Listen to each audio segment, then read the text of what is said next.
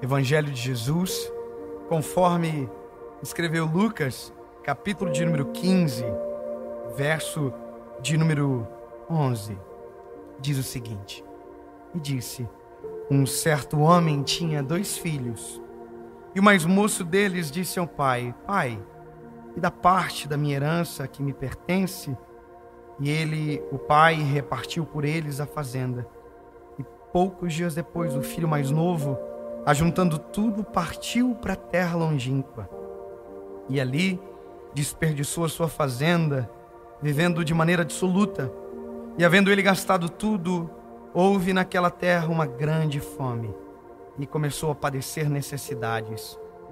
E foi, chegou-se a um dos cidadãos daquela terra, o qual mandou para os seus campos apacentar porcos, e desejava encher o seu estômago com as bolotas que os porcos comiam. Ninguém lhe dava nada. E tornando em si, disse: Quantos jornaleiros de meu pai têm abundância de pão, e eu aqui pereço de fome. Levantar-me-ei, irei ter com meu pai. E vou lhe dizer: Pai, eu pequei contra o céu pequei contra ti. Já não sou digno de ser chamado de teu filho. Faz-me como um dos teus jornaleiros. E levantando-se, foi para o seu pai.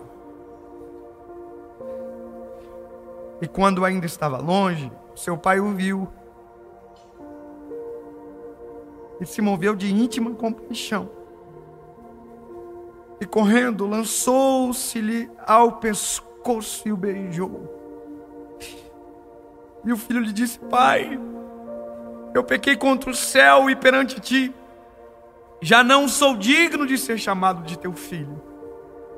Mas o pai disse aos seus servos: Traz depressa o melhor vestido e veste ele. Põe um anel na mão, sandálias nos pés, e trazei o bezerro cevado, e nós vamos comer e nos alegrar porque este meu filho estava morto e reviveu. Tinha se perdido e foi achado.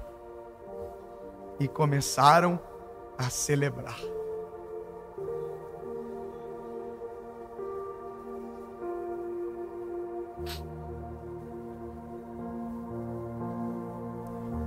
A maior dificuldade não é sair de casa a maior dificuldade é voltar para casa. A maior dificuldade não é morrer. A maior dificuldade é reviver. A maior dificuldade não é passar fome, é voltar a comer depois da fome.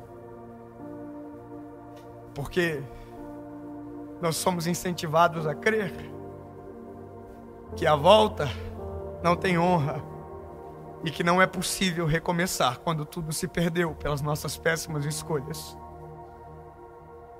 Há uma geração que sonha em voltar para casa, mas não sabe como fazer isso. Há uma geração que sonha voltar a respirar, mas não lembra mais como é respirar novamente. Que está morrendo de fome, mas tem muito medo de voltar a comer no prato que um dia comeu e abandonou. Porque a nossa maior preocupação não é o pai, é os irmãos mais velhos. Porque a nossa maior preocupação não é o pai, é os jornaleiros da casa. Porque mais preocupação que a gente tenha, nenhuma coloca o pai no centro, é sempre o resto. Tem gente que pensa que voltar para Jesus é voltar para a igreja. E às vezes da igreja que saiu foi muito ferido, machucado, e aí feriu e machucou pessoas. Mas voltar para Jesus não é voltar para a igreja. Voltar para Jesus é voltar para Jesus. Não tem a ver com ambiente, tem a ver com escolha. E escolhas mudam os ambientes, não o contrário.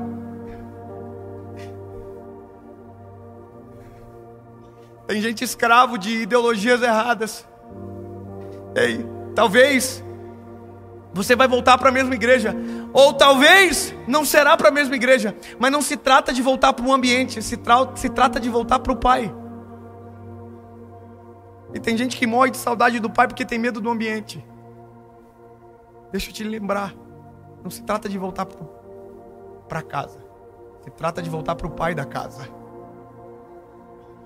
Deixa eu te contar umas coisas importantes disso aqui. O filho, quando saiu de casa, pediu tudo que tinha, pediu toda a sua herança e perdeu a sua herança. Ou seja, ele perdeu o passaporte de volta para aquilo que era casa. A sua herança se perdeu. As roupas se gastaram. Foi suja. Porque as roupas envelhecem no corpo. As roupas sujam na estrada. E o filho que antes vivia limpinho com o pai dentro de casa, agora está todo sujo. Perdeu tudo que tinha. Só que uma coisa o filho não perdeu e não percebeu. O filho não perdeu o pai.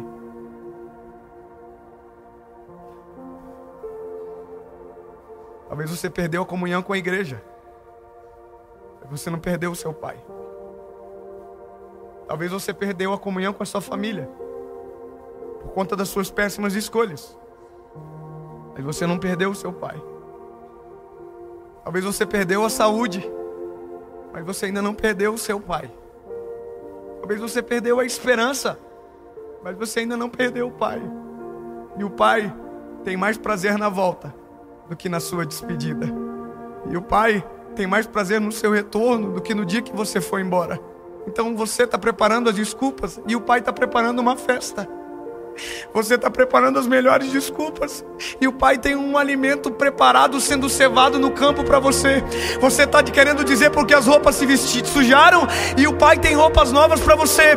Você está querendo dizer porque passou tanta vergonha e o pai tá, tem anel de honra para você.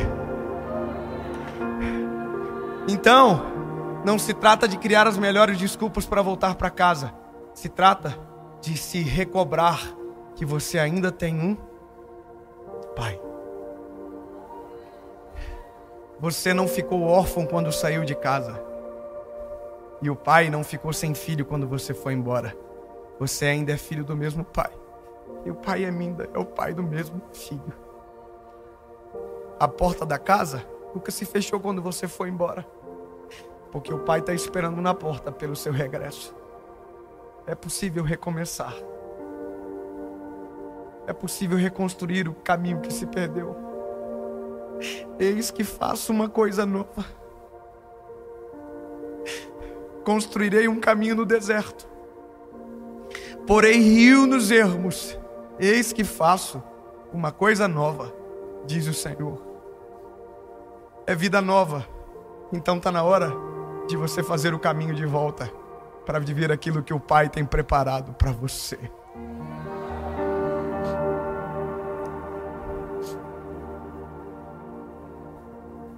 Se recobra, se levanta, esquece as desculpas, esquece a sua roupa que está suja, esquece do seu cheiro que é mau Esquece dos olhares dos irmãos mais velhos que ficaram dentro de casa. Porque o que mais importa para você agora é o Pai. E o Pai está esperando por você. Se levante e vai para casa. Não tente lavar a roupa antes de chegar, porque o Pai sabe por onde você passou. Não tente fingir um anel que você não tem, porque o único que pode honrar você é o Pai. Não tente encontrar sandálias novas, porque os únicos sandálias que tem para você é o Pai que tem para te dar. Então, só faz o caminho de volta e se prepara para encontrar o seu Pai na porta de casa, esperando por você.